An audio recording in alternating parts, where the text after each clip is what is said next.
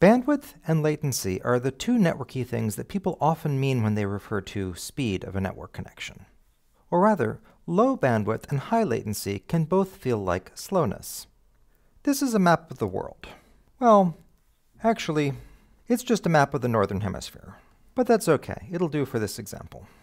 Here are a few places around the world. Here's Alice. Alice lives in California. Alice clicks a button in your web app. The app performs a query to your web server. But Alice is here, and your web server is over here in Riga, Latvia, many hops away. Maybe traffic has to go to Chicago, to New York, over the ocean to London, down into France, bum around in like middle of Europe for a while, eventually get to Latvia.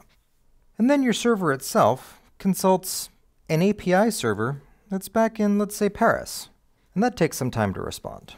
By the time the response gets all the way back to Alice, it's been a few seconds.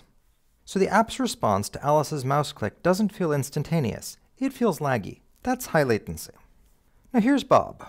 Bob's computer is from 1997 and he's using an old dial-up modem to connect to his ISP. Bob goes to your website, and his browser starts downloading your site's logo, which is 100 kilobytes in size.